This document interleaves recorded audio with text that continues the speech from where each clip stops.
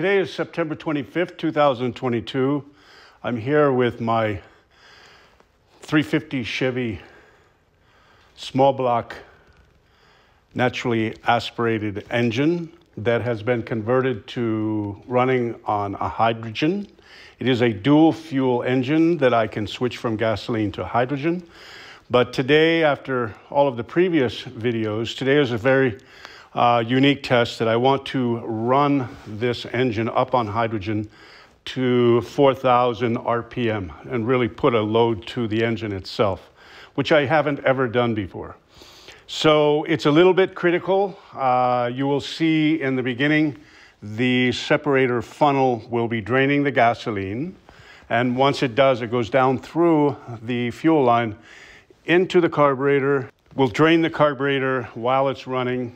And then when it starts um, changing in the RPMs, I will switch this over to 100% hydrogen. The rest of the uh, gas had, will already drain out.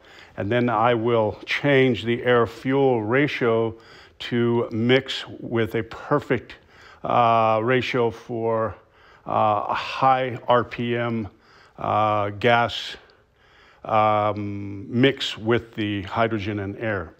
So uh, this will be a first of a kind uh, test that I have done to really push the limits of see how the hydrogen will flow uh, through the intake the way that I have inside of the intake configured to distribute the fuel throughout the eight cylinders. So let's get started. I'll start up the engine. It'll be running on gasoline first. You'll see it draining. Once it's drained out of the carburetor, then I will give it, I will turn on the hydrogen. Uh, this is the hydrogen tank. There's not a lot of hydrogen left in it. And then I will change the delivery pressure of the hydrogen to go into the hydrogen line. This will follow through the hydrogen line into the control system and distribution system on both sides of the intake manifold. So uh, let's get started on this. We'll turn on the master power coil, fuel, and fan. A couple of pumps of gas. And let's see, let's launch this. Good quick startup.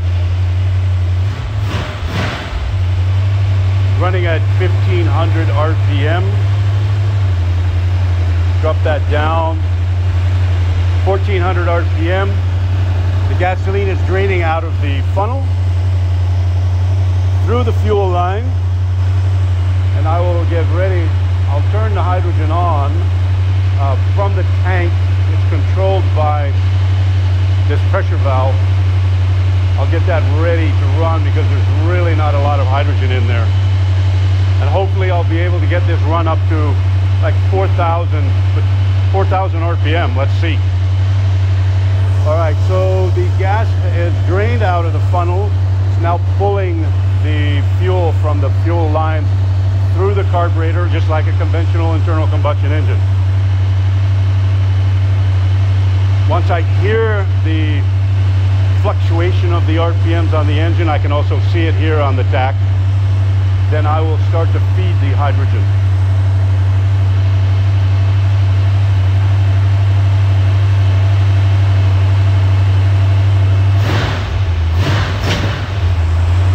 running very well.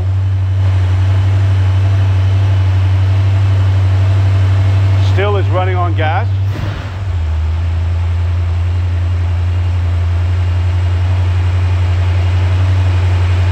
Now there's a fluctuation of the RPM. You can hear it. Starting to drop.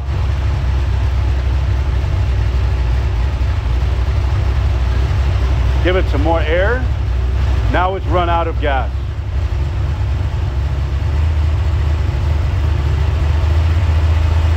More air, and now it's matching the, uh, the fuel ratio for the amount of gas. Let's cut back on the hydrogen. There we go.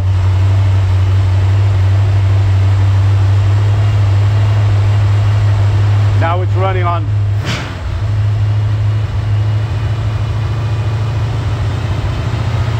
we increased RPM. Now the fuel, the gasoline is running out. I've got it up to a high air fuel ratio. Let's pump up in more air. It's at 2200 RPM.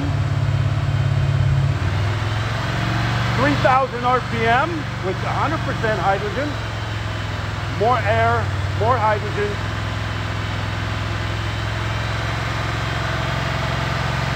It's running smooth. Yes.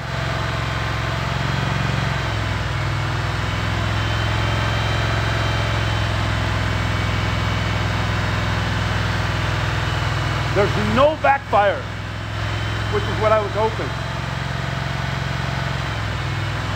Let's push up the threshold. 2,800 RPM. Add some more air.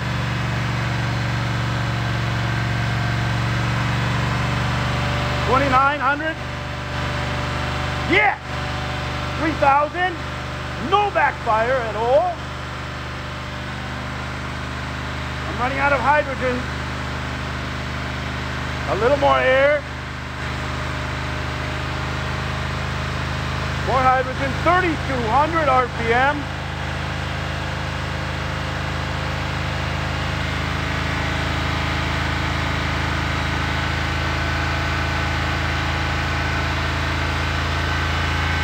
Push it. 3,400.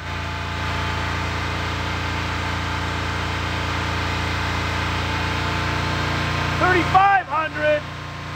Yes. A little more air. 36. We're running at 30 psi only. More air, more hydrogen. 38, 35, 36.